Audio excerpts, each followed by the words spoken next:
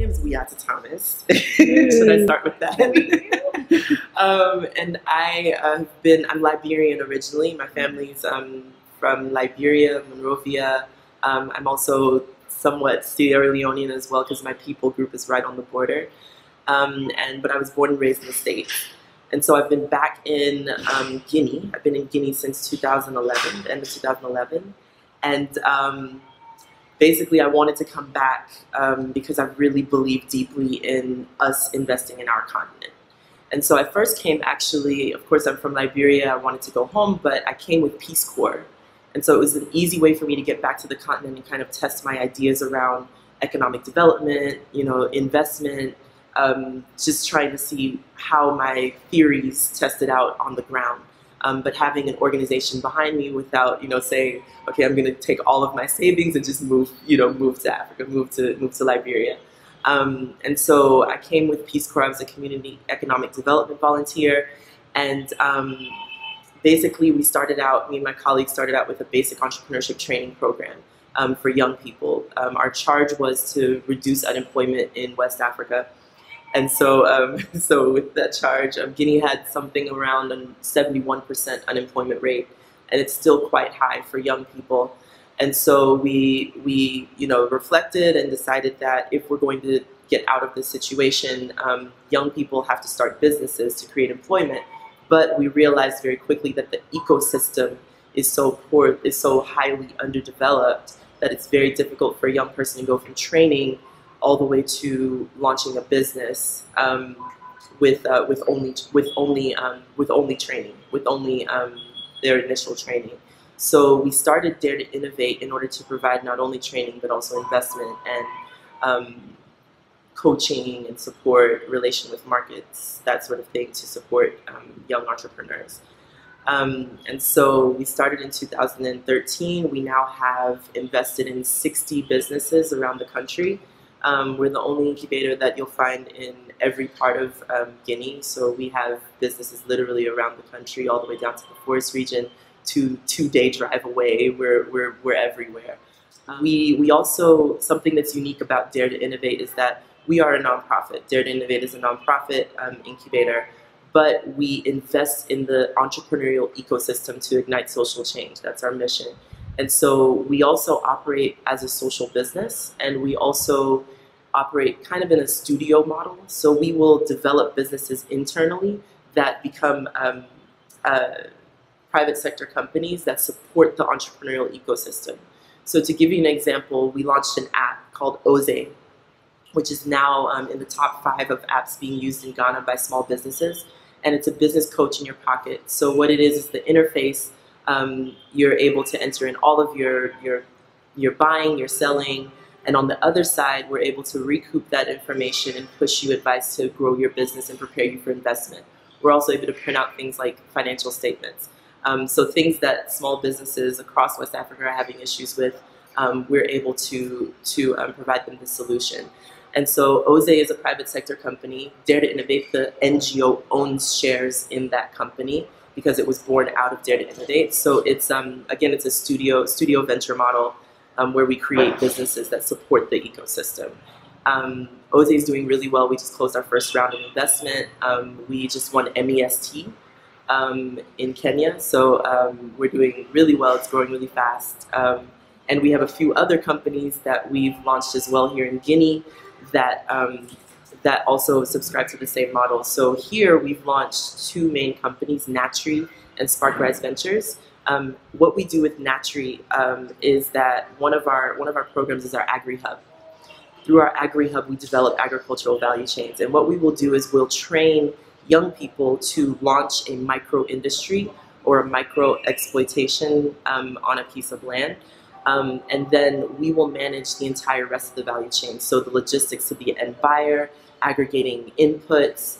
Um, we'll even help them find land so that they'll all install um, in, install their, their businesses and um, they'll share certain resources, sharing water, electricity. They'll share investments, certain investments, um, to all to reduce their costs. Um, and then we manage the Naturally manages the, the two market side of the of the business.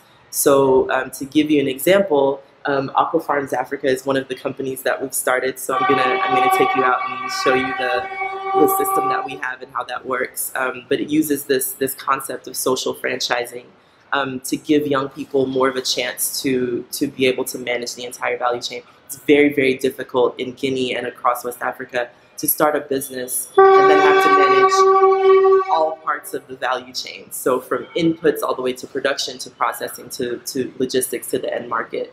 Um, for a young a young Guinean, a young West African, it's very difficult to do if you don't have all of the competency and the resources to do that. So our concept of social franchising um, with the AgriHub model allows them to focus only on production and us to focus on developing the rest of the, the value chain with services um, to, to those end markets. Um, so that's, that's generally what we do. We do it in agro business. We also do it in, um, we have another, another program called our Accelerator for Urban, urban, um, urban Industries. And so we also do the same thing with other, with other sectors like boulangerie, like baking, patisserie. We have a brand there.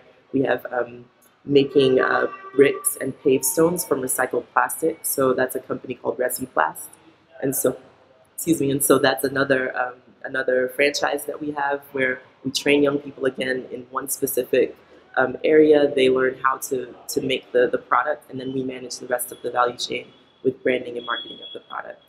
So, voila. okay, so um, let's go out here. So, um, so Saboutech is um, is like I said one of our um, competitors, but also we partner with them. They are um, owned and I will say owned. They're they're invested in by Bolloré, which is um, a French company that that manages ports.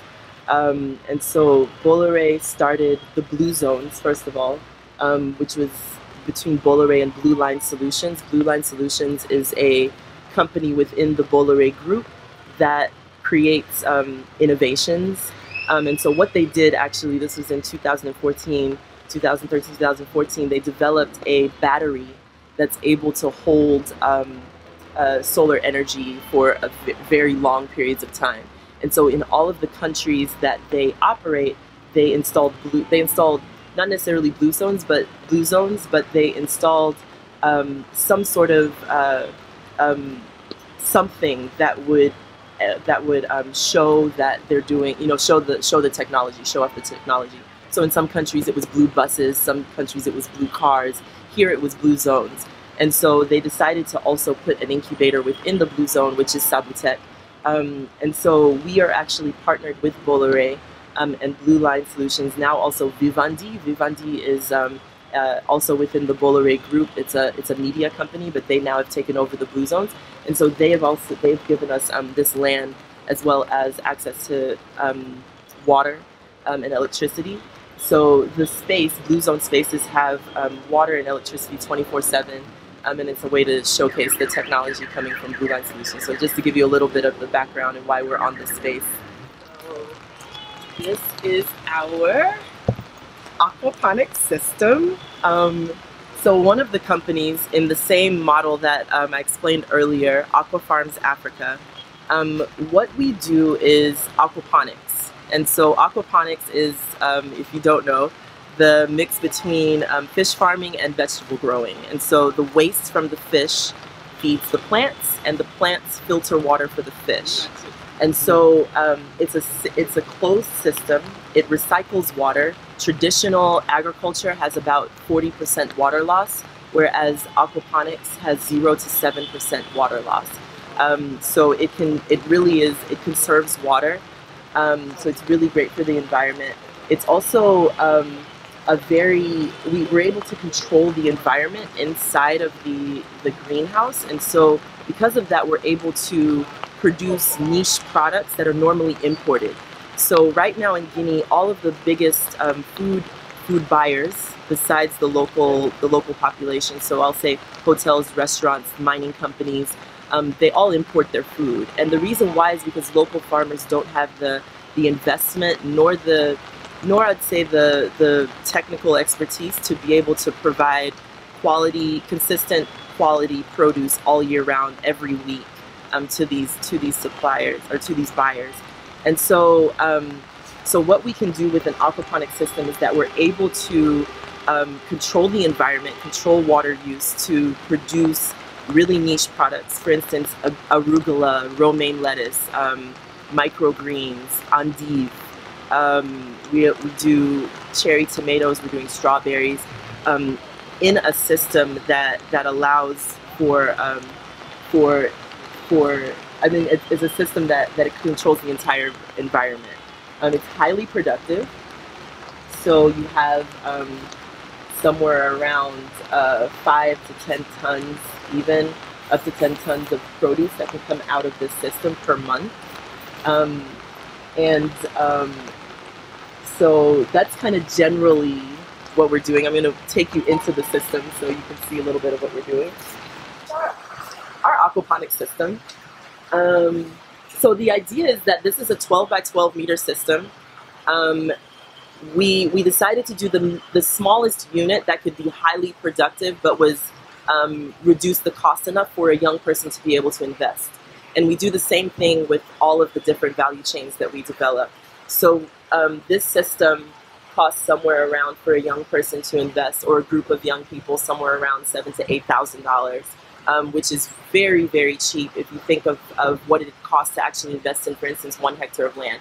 So one hectare of land here to invest without buying the land, not not taking into account buying the land and, and that sort of thing, it's around ten thousand um, dollars, and then that's the the you don't have all of the benefits that come with um, being in an aquaponic system, which controls the environment. So the ten thousand dollars doesn't include things like drip irrigation if you wanted to control your water better, um, or greenhouses, for instance. So if you're going to go to like greenhouses and um, drip irrigation, your investment becomes significantly more.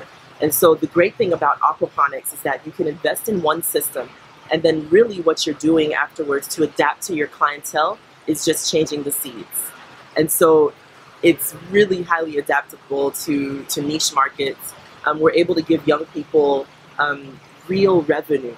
Um, something that's, that really bothers me with a lot of projects that come around entrepreneurship um, in West Africa is that it's, it's about giving people the minimum.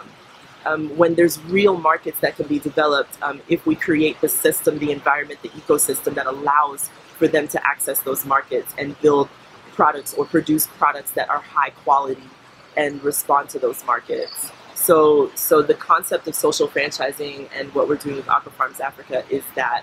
So um, the numbers are, are incredible. I can't even really tell you all of them because we're still testing out. This is a prototype.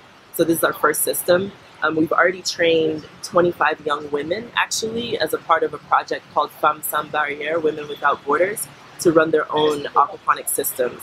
So we did a training over, let's say, two months, um, and now they're in their internship stage. Um, so they're not here today, actually, um, which I would have loved to, to, for you to meet the, the women who are learning. But um, the idea is that we're training them. Each group of five is going to form their own um, which is like a a, a cooperative and economic cooperative, um, and then they'll they'll be investing in their own um, aquaponic systems.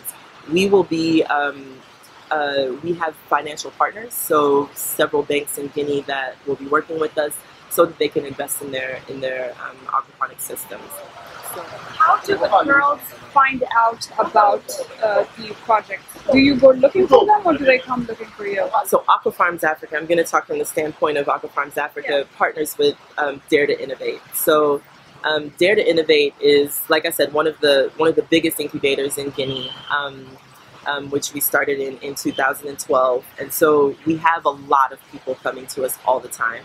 And we run about five programs every year. And so with those programs, we usually will insert the these value chains into those programs. So for instance, we launch a program, um, we'll say that we're going to be training people in these eight value chains and the the young people coming into those into the program will choose which value chains they want to they want to invest in and grow in.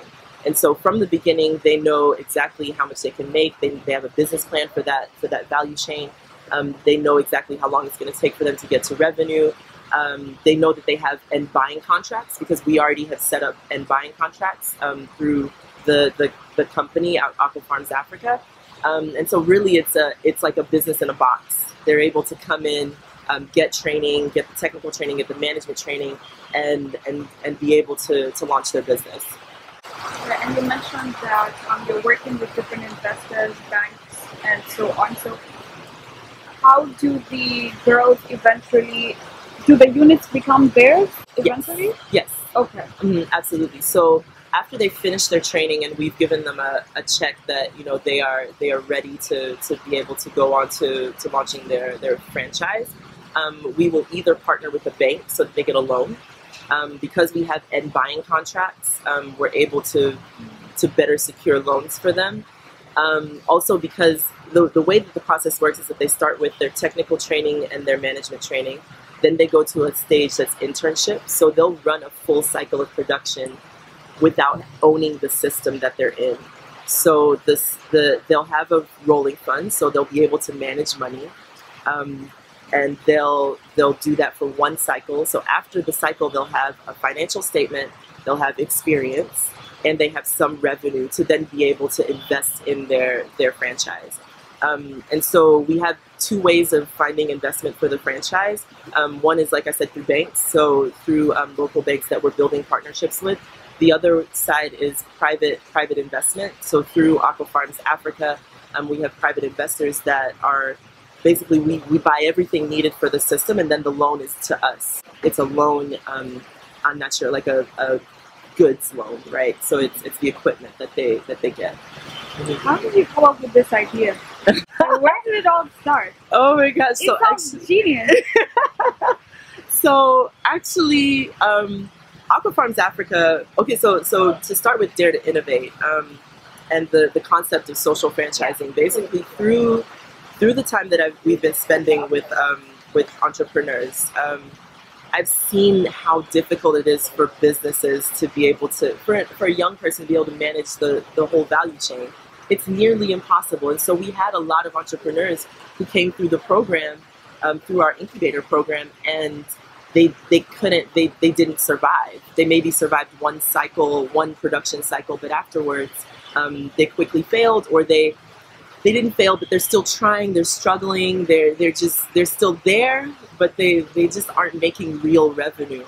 And so um, the concept just came to me that if i was going to because i have i have access to a lot of investment um, something that i believe that we as as people who have are African but have lived overseas, um, we have more access to doors, open doors than than young people. So I have access to investors. I could easily just start a big industry. I really could build my business plan and, and get my investment, and, and I could do that. Um, but the social franchise model allows um, us to be able to really build local economy and give young people hope, and also just like owning their own owning something like and really being able to see that this works because what we've also seen is that young people are starting in guinea at least are starting to get tired of, of entrepreneurship and incubation as like a solution because there hasn't been the investment behind it to really develop these value chains or really help them to get to the next level so a lot of times we'll find young people in our in our incubator we give them seed funding they'll prove that their business works, but then to get that second injection of capital that they need to grow, really, really difficult. Um, and then if they do get that a small injection of capital to grow, then where's the next investment? It's always about how do I find how do I find investment? How do I grow my company? And so they get stagnant. You know, we have businesses that need investment and they could grow. They have really great concepts. They've proved the concept, but it's been very slow to grow because they don't have they don't have these other resources. So the idea was how can we, how might we? So I, I use that specific phrase because we use a lot of design thinking in what we do at Dare to Innovate. So how might we um, develop the ecosystem in a way that really, that truly supports young entrepreneurs? The other thing is that we saw that when we train, a lot of times projects like UNDP, USAID, all these projects, they come in and they need to train large numbers of people so a thousand people, two thousand people. So if we get a contract to train 500 young people, um, you can't incubate 500 young people. Like that's not that's not classic incubation. Um, and so we may have we may have 10 out of 500 that are real entrepreneurs. meaning they have the vision, the competency, the, the ability to grow a business that'll attract investment, that'll create employment. So, what do we do with everyone else? You know, that's motivated. They normally would probably be employees. They're normally probably not even entrepreneurs. But because employment doesn't exist, how do we create a system that will, where they can own their own employment? And so that's really all of that together was where the social franchising concept came out of. So for Aqua Farms Africa, and what I've done with all of the different value chains is that I found partners um, who are building the business of a certain business in a specific value chain who have wanted to wanted to come into our system. So my partner for um, Aqua Farms Africa, her name is Bakita Mahama. She's the technical person behind all of this. She had the idea of, of aquaponics, um, building aquaponics in, in West Africa. And so I was like, well, I've got this great idea of social franchising. Can we combine them together? And so that was the birth of Aqua Farms Africa. And so she came, she moved here. She's um, American, uh, but married to a Ghanaian and um, has doesn't speak a word of French, but moved to Guinea. And um, and we just we just made it work. We put together the system, and and now we're you know we're building it. So we're at revenue now. We um, we just had our first uh, deliveries actually this past month um, to Millennium Hotel, which is one of the one of the hotels here, and we have two other clients, um, Avenue and Sheraton hotels. Um, that'll that'll be our, our first clients um, with the system. I'm curious. Uh, before Aqua Farms Africa and before Dare to Innovate, uh, where were you? Like, oh. like what? Uh, what Right. brought you to this journey to the point where you were like, okay, I need to go back home. I need to uh, make a change to make things work for young people here. So um, my story is crazy, but um, I I finished I finished undergrad, and my last year of undergrad, I took three courses. That was um, ecology. I took sociology of economics and African economics all at the same time. And before that, I was looking to work in public health or, you know, I wanted to do something in the nonprofit world. Um, but those three courses together made me realize that absolutely for me, basis of development in Africa is economic development. We have to be autonomous in order to, to grow and to develop our continent. And it's also about freedom. And I think that economic freedom is probably the basis of all other freedoms in my in my opinion. And so this this became a passion of mine at that point. I was like, I need to move back. I need to I need to um, I need to know what these theories look like on the ground. You know, what is it to actually build businesses? What is it actually to to develop economies in in Africa? You know, in on the continent. And so I, when I first got out of college, I worked in nonprofits. I kind of was all over the place. I worked in nonprofits for a while. I was a flight attendant for a while. I mean, I was just, I was just kind of doing a lot of different things. I actually, I became a flight attendant during the housing market crash in in um, in the states. So I was laid off three times in one year. Um, and so I was like, okay, I'm gonna become a flight attendant because I want to travel. Um, I started a real estate investment company. I mean, I've done I've done a million different things, and when I was when I was laid off, um, when I was a flight attendant, was in that time that I was like, you know what, what am I doing? Like, I want let me go and try. I want to test these ideas now. Like, what am I waiting for? Um, and so I was like, you know, I I can't just like I said earlier, can't just save, you know, take all of my savings and just move to a country and just hope it works. So Peace Corps was the easiest way for me to get back to the continent. Um, and I was an economic development volunteer. I knew that I wanted to be in West Africa. I knew that I wanted to be in a French-speaking country. I knew I wanted to be an economic development volunteer. And if those three things hadn't have happened, I wouldn't have done Peace Corps. So it was the way for me to get back and test out my ideas. So when I was a Peace Corps volunteer, I started a real. I started sorry. I started a fashion company. I worked with artisans, uh, and so we did we did a couple of export orders to the states. I did um, a moringa company, so we were doing dried moringa um, and also dried dried other dried products. Um, I started several companies while I was a volunteer just to test out and see what what does it look like to start a business on the ground. And so for me, um, being here is this is my life's work. I I want to spend the rest of my life in on the continent, it convincing us to move back. I believe that it doesn't necessarily need to be moved back. I know that it's difficult for for people to say I'm going to quit everything and move. I'm crazy, you know. but to at least um, be investing in our continent. And the thing is, it's difficult to do that. Um, if I know so many people in the diaspora who really want to invest, but where, how, who, who do I contact? What are the what are the systems in place? What exists? And so, I wanted to really create opportunities for investment for the diaspora. For me, black people everywhere are African. So, us everywhere, we are African, and we are the owners and the originators and come from the richest continent on earth. And so, why are we so marginalized and poor everywhere you find us in the world?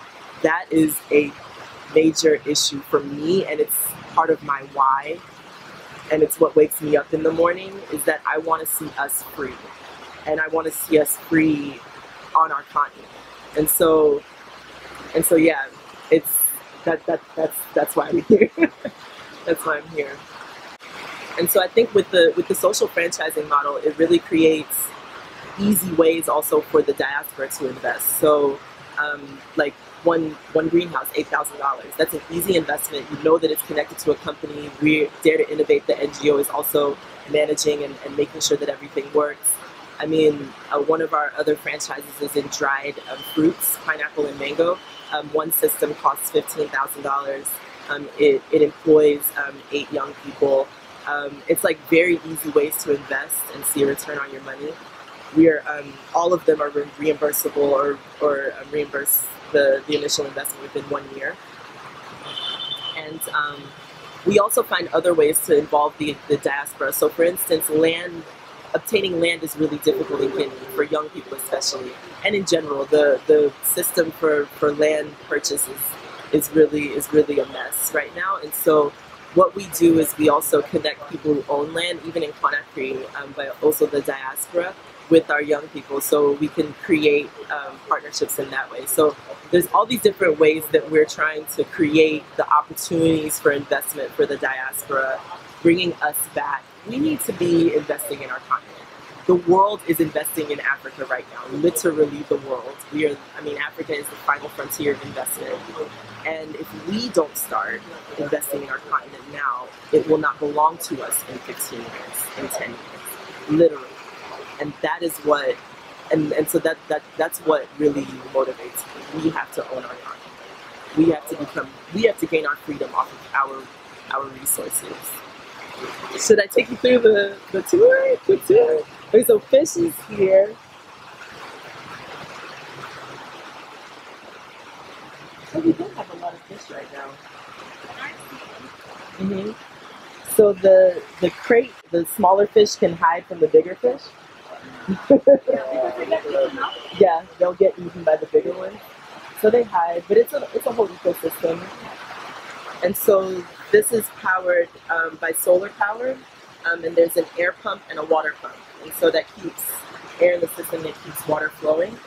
And so then the water leaves here. You see the this is when it enters into the side where we're actually growing vegetables.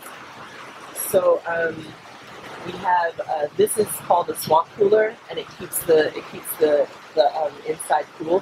One of the biggest issues we had and are, are still dealing with, but um, we've gotten we've done a lot to reduce the temperature. It was very very very hot.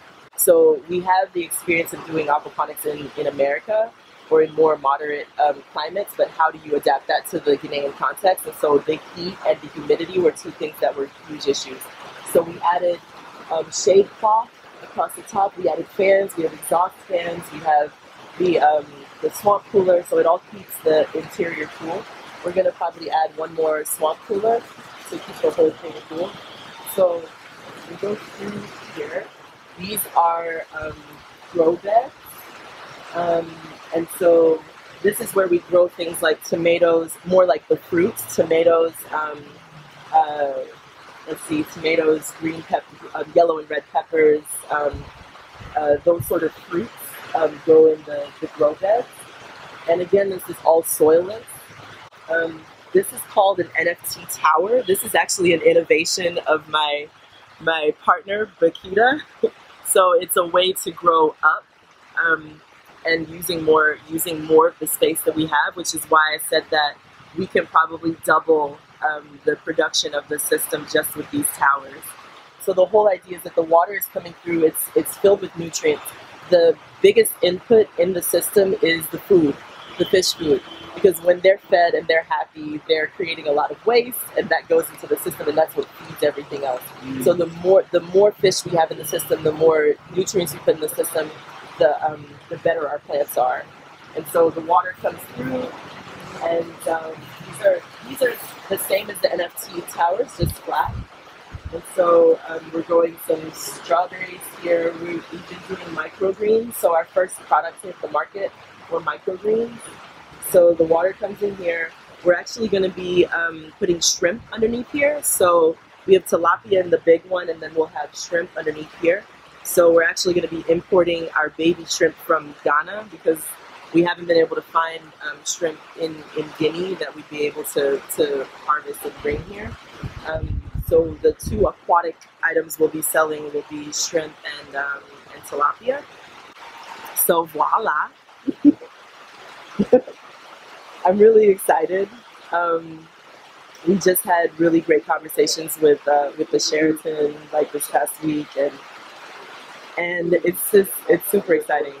It's super exciting because they no no hotel and restaurant in Conakry is able to supply locally, and so this is really going to give um, give not only it's going to reduce imports, but it's going to give Guineans, young people, the opportunity to supply markets locally, and that's exciting. And these are the most valuable markets, at least for fresh produce in the in the country. So it's exciting. One of my papers for my senior thesis was on um, development in uh, in Africa. Basically, the involvement of development agencies in Africa over every decade, and um, what I had what I had learned or seen in my studies is that every decade there's a there's like an economic policy that's kind of decided for for Africa in general from the powers that be. Um, but how, how we're going to do development in Africa. And every decade it more or less fails. And there's a few things that maybe work. And then they just go to the next decade where they, they experiment again. And um, but nothing's nothing's ever worked and it's always coming from the outside in. And so um, one of the things that I feel I mean it was it was it was kind of proof that this is not working was coming here and seeing what development is doing on the ground. So um, i said this is controversial but you know like going uh, on on your way up to labe i was placed in labe as a peace corps volunteer. Um, you'll see signs for old projects. Like there's a bunch of signs. There's like 40 different signs going up. It's like you know and they have these acronyms like project for blah blah blah blah blah and they're old and rusted and when you walk into the building to try and ask anybody about it they're like oh yeah there was that one project. And something that i just saw repeatedly um, not only with those projects but then talking to people and seeing what had happened since these projects um, what was what was um, the impact you know how were you are you better off for any any of this? Um, was just that there's this this vicious cycle of so much money being brought into into these countries um, and it going to projects that seem good for the moment and then they're not but they're not sustainable. And for me um, what i found so that that kind of proved what i had what i had um, what i had studied but what i what i added to that or what what came to me is that it has to it has to be economically sustainable for any project to work, it can't come from a nonprofit sort of background. How how are the people running this project going to keep it running? Um, if it's a project for education, for instance, and you build a school, um, how are you going to train and support teachers in that school? There's so many school buildings here that are empty because the state or the community didn't have the funds to be able to keep a teacher employed. Um, so, what are the ways in which building economy into these development projects and building like an, a real economic model, literally a business plan for these projects, how is that going to to change the way in which development funds are coming into Africa and being used for actual actually something productive, as in contributing to the, the GDP of the country. Because when you have when you have all of this money being dropped in a country without much M&E to, to see what the impact of it is, it destabilizes economies. It it does so much it does so much negative. and I think there's a lot of room to be able to combine um, business and and use that for for good social business. You know, use it use it to make this money sustainable, to make this this um, this impact sustainable, to make the projects um, work for the country, for the community, for the people. Um, so that's something that that really was a big revelation for me, um, coming and seeing it on the ground and like, okay, this is what needs to happen, because it was like I knew that this this happened, but what's the solution? What is a solution, a potential solution to it? Because development money isn't going to stop coming. And so how do we take it and make it profitable, make it make it um, productive? Can I read your paper? Oh, you know what? Girl, I don't know if that paper exists anymore. I don't know where it is. I've lost so many computers and hard drives since then. oh man, actually, it's funny because I, I did two senior theses, and another one I did was um, on my family because um, I come from a royal family. So um, the Massaquoi family founded the Vai tribe. My people are Vai. And so I did a whole um, study on the Vai people. And the beginning, I traced my family back to the 1400s and their migration down to where they're now in um, Liberia, Sierra Leone. And um, I had a cousin recently ask me for that paper, and I was like, that's so sad. I spent so much time and effort on it. And I don't know where it is. Is it? Yes. Without a shadow of a doubt, it is exhausting. If you see bags under my eyes, it's because I stayed up all night last night. This is hard. It is hard. And I try to be very careful about the way in which I per- portray working here and building a business because there's a lot of people who are so excited about coming back and like, oh, you come with like this this energy that can quickly be stifled, even suffocated out, if you don't understand the reality of what it is to live and work here and build a company. It's hard. It's hard. Um, it's a lot about who you know. Um, many, in Guinea especially, a lot of systems just don't function. And so, um, and so you just have to really, you have to learn like the, it's a game. Like working, I feel like working in in West Africa in general is like there's a game because governmental systems, systems that should support you to build a business, for instance, don't aren't very strong. If they exist, they're not strong. Um, in some countries, they're stronger than others. In Guinea, it's very it's very weak, and so and so I, I want to be I want to be careful when I when I portray because I don't want people to take their whole life savings and say, oh my God, Wiatta's doing it, so I'm gonna just you know jump in there and, and, and do it myself. So I'm very careful about how I, how I portray it. It's hard. It's definitely hard, and I'm tired. I want to sleep right now. but um, but it's it's. I also believe that certain people are pioneers, right? There has to be somebody that comes first and lays the groundwork, and not everybody is ready to to do that because it's a painful journey. It's lonely often. It's painful. It's it's a lot of work um, and I, I'm someone who has a very high tolerance for pain in general. So I'm, I'm able to put myself into very difficult situations or you know environments in order to achieve my goal. If I told you some of the places I've lived and things I've lived through in Guinea, it's, you'd, you'd be completely disgusted. like it's it's it's incredible the things I've I've been able to put myself through um, but not everybody is ready for that, and you have to you have to be very aware of what it what the reality is. And I really consider myself as someone who's laying the ground. Like I want to be able to make it more friendly and easier for other people to come after after me and to work with me and to partner with me. like Bakita was able to come from the States without any experience in Guinea and help me to start this business. And I want that to be what people feel when they're coming, that there's something already already going, they have a system that they can come into. Um, so that's yeah, it, it is definitely hard. No, I like like what you said because we're also trying to tell a story about like a different Africa and entrepreneurship, Mhm. and it's very interesting that you said that you have to be careful about what you portray and Mhm. what you say to people is possible. Mhm. So, um, what's your take on, or like, how do you see it being open to, uh, like, giving this kind of information to people within the ecosystem and anyone who's out of the ecosystem or in diaspora and wants to come back and um, and make a change? Right. So for me, um, I think that Africa in general, there's so many opportunities. There's huge opportunities. And speaking in, about Guinea specifically, Guinea is a hard place to live, but that's because it's it's everything's growing, everything's new. It's not because it's impossible or you know whatever. It's the people or I, anything, any negative negative um, like it's just Africans or it's just Ghanaians or all of these negative words that people use around Africa.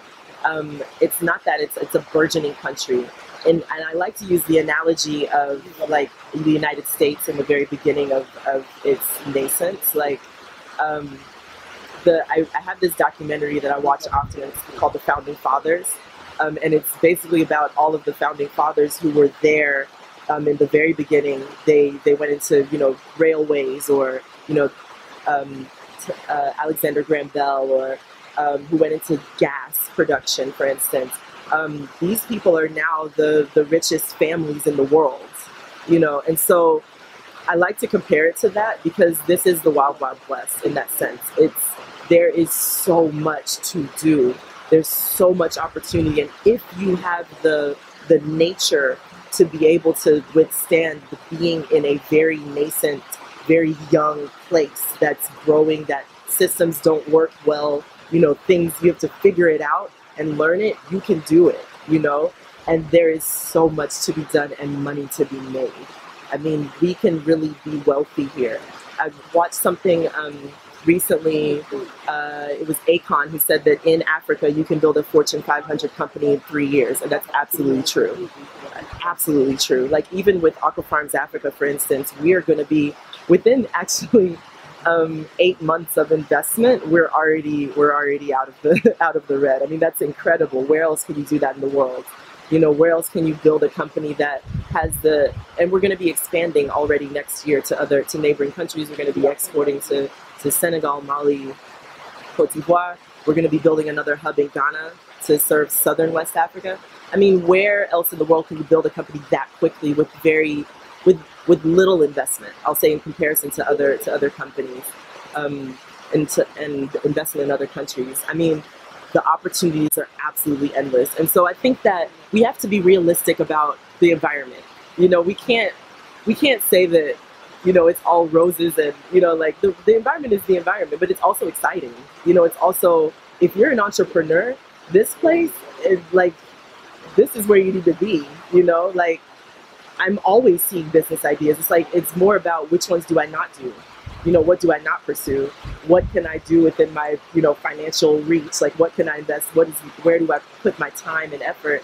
But there's opportunities everywhere. It's it's all the time it's such an exciting place to be. Like i know i would have never been able to reach where i've where i've come if i stayed in america you know? And i've i've done this i guess dare to innovate. I was a peace corps volunteer for two years dare to innovate.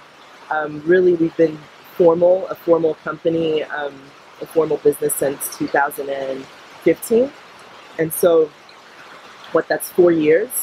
In four years like it's amazing what we've been able to accomplish you know i would have never if i was in america i'd be working a desk job you know at a development agency. I'd probably be doing like you know project management. Um, i'd be hanging out with my friends on the weekends probably have a local bar that i go to. I mean what would i be doing? And here i'm like with with every business idea and it doesn't even you know with every business idea i'm like impacting i'm i'm creating change. And um, it doesn't even have to be a super innovative idea. Because nothing's been done here, the simplest ideas make ridiculous returns.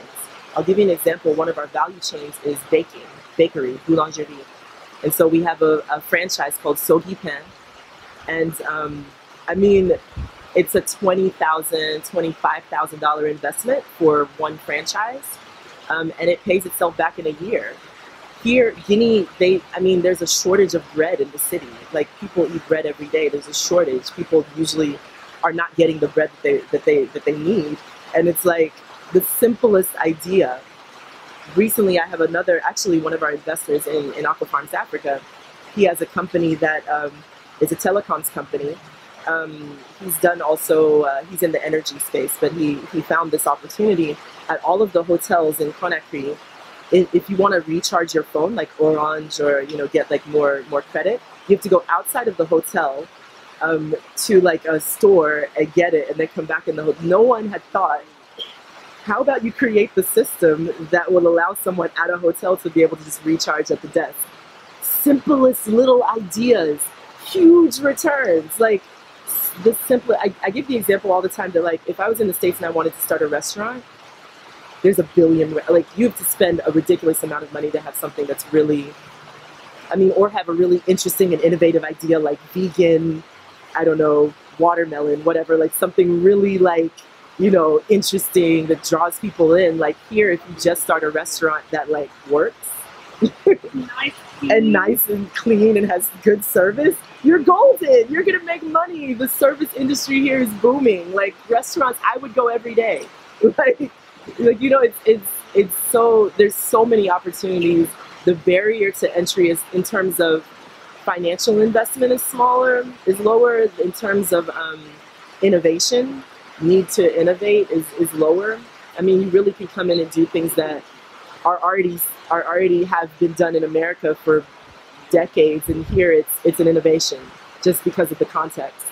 So we also try a lot of times when we're talking to people about what is innovation, they're thinking like lofty, and we're like, the context is what is innovative about Guinea. Like aquaponics is nothing new. There's aquaponics farms all over the states. It's not being done here. You know, it's just it's just the context that makes things that makes things innovative here. So I mean that's that's what I would say in general actually, and this is where I think we're really innovative actually in our business model um, with the franchise system is that aquaponics, even in the States, is being done, but no one is scaling it and making it available to the local population in general, right? So the idea that with a 12 by 12 space, you can have an entire farm is, is for me huge. I think it's a disruption in the in the industry, not only here but even even in America. And we want to have we want to create south to north or um, I don't know east to west, whatever in a um, transfer of, of, technologies and innovations. And I think this could be one. I imagine um, Aqua Farms Africa even being in food deserts in the states. Um, I imagine it being in Southeast Atlanta. I did my studies in, in um, at Emory University in Atlanta. So I can completely imagine Southeast Atlanta, you set up your aqua farm system. We manage, again, the two market side of the product. So we, we do pickups of produce, we do, we do quality control checks, and we then market to supermarkets um, and restaurants high quality, locally produced um, food that's a bit, it's accessible to everyone can be a farmer. You know, anyone can be a farmer. So I think that that's, and it's also the, the other side of the market, which is that everyone's into locally, locally made, you know, produced food, um, no, no G, uh, yeah, organic food, uh, GMO, no GMO organic food, and so this makes it accessible and also um, brings your brings your prices down as well. So I think it's something that we can we can really expand everywhere. I see this being I want us to list within five years um, Aqua Farms Africa. After here, we're definitely, like I said, we're going to use Guinea as a hub to export to local, to, to um, neighboring countries before we actually go into the market and set up, set up hubs. And we're also going to set up a hub in Ghana to serve like Nigeria, um, Togo, Benin. And um, I think once we hit the Nigerian market, that's gonna be uh, yeah. I'm excited. you mentioned the 25 women that you've trained so far. Do you have any personal relationships with the with the people that you're impacting, like in a mentorship uh, sort of situation, or do you have any mentors yourself? I do, yes. So I have several mentors that are they're people who have come back and started businesses and are successful in on the continent. So I have several mentors that are dear, near, dear to me who have helped guide me in like how I'm moving forward, what are decisions I, I'm making, what makes sense for me in my in my career and where I'm going, um, and in my vision. Um, they've also been my connectors to investors, to people who can believe in what we're doing and what I'm doing. Um, for the women, um, I don't personally mentor them just because I don't have the time. It's something that I, you know, as we grow, it's something that I don't have the, you know, the time to be able to do anymore. But the team does. They're they're very, um, very hands on. I mean, this our team here are their mentors. So this is actually one of our one of our entrepreneurs that we that we train is going to be starting a, a, a system soon. So um, so they're very closely coached by the team. Absolutely, they all of our entrepreneurs going through the incubator or starting a franchise have coaches. They have mentors. Um, they're they are supported from beginning to end. Even within our incubator at Dare to Innovate, um, normally with incubators you have a period of time that you're incubated and then you know you go with Dare to Innovate, we say that you're you're in Dare to Innovate forever. Like as long as you have a business, life of your business, you're here. Because the reality is that even if you finish your incubation period, you still live in this environment, and it's much easier for me to open doors than for you. Um, and that's that's sad, but it's the reality. So I'll give you an example. We had one of our entrepreneurs just recently who um, started a mobile veterinary clinic in the middle part of the country, Fouta Djallon in Pita. And um, he wanted to be in contact with the Minister of Élevage, um, which is animal husbandry or animal raising. Um, and so he, of course, it was hard for him to get that get that meeting or get that connect. And but I'm easily able to walk into that office and build a partnership and then connect him to the ministry. And so now he serves as one of the service providers for the ministry on vaccination campaigns he was able to benefit from um, a training of éleveurs or no veterinarians on um, on uh, uh, artificial insemination, for instance. So we continue, even though he's been with to Innovate since um, 2000 and let's see, 13. We're able to continue to provide them services, you know, and help them. So you're when you're part of Innovate's um, network, you're you're with Innovate forever. So and it's the same thing with Aqua. I mean, it's a franchise system, so with the franchise system, you get support continuously because you're paying a franchise fee as well. You know, that's a part of the part of the system. So you get you get that service, you get that continued service, you get that support. We've talked about uh, development, and you've mentioned that for it to be sustainable, there has to be uh, like a business model and an economic aspect of it all. My question would be, what is development for you mm. in general? Because, for example, we have been to all these places. We've been to um, uh, Koundara, Pita, Labe, Tandika, and all these places, and it's I don't want to say shocking, but it's very interesting that there are still certain ways that are very traditional of living and very domestic, like just people like in a lasso, walking through like with a, a bucket of water on their head and so on, and and they, they don't seem to be like missing anything. You know, they're just going about their lives, having uh, day to day going farming like this and like that. So my question for you would be, what exactly is development for you? That's such a hard question. Right? Such a hard question because, I mean, there's two things. One, development. When I talk about development, I'm talking more about the industry of development. So, development as the monolith of aid, right? Development. So, the development industry. When I'm talking about, you know, what needs to change within it. But if I talk about development as the the concept of what is development, um, I mean, even if you see that um, for instance, a woman who is in a village and she has to go and get water every day for her family.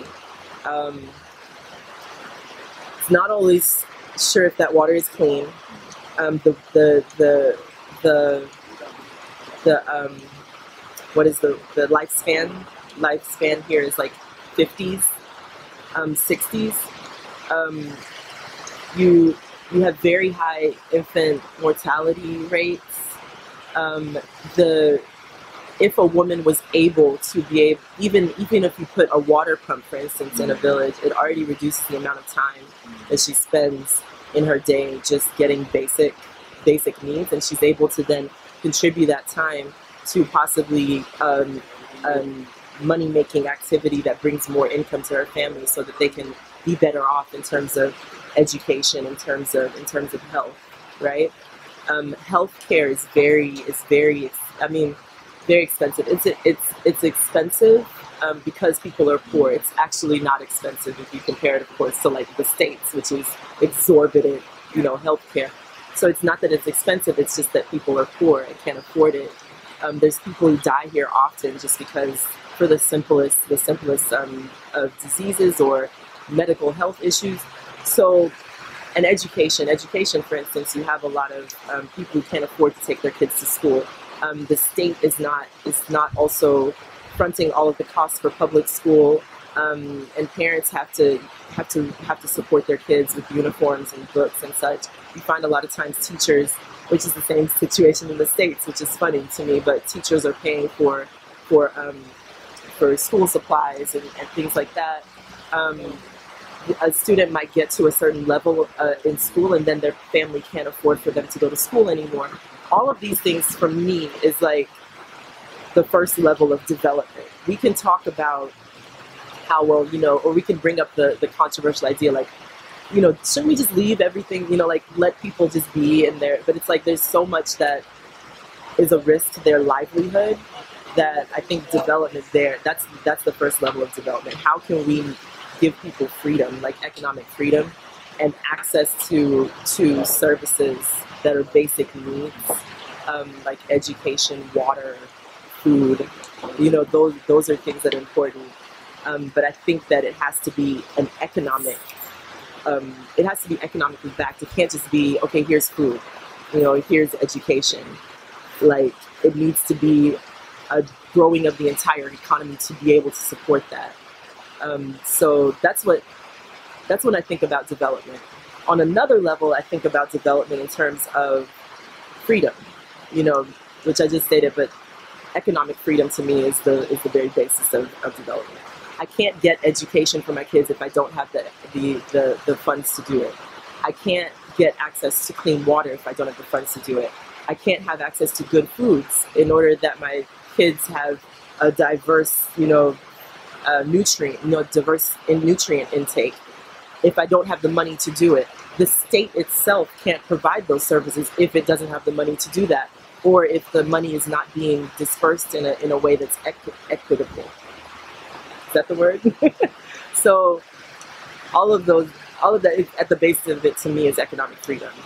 What would be your advice to the people that don't have all this money to invest uh, or come back, that are just being born here and that are young, maybe open minded, what would be your advice to them? It's very hard to be honest because the I would love to say, come to Dare to Innovate, we'll help you all, but it's it's just not a reality. Like we can we can only support a certain number of of youth every year, right?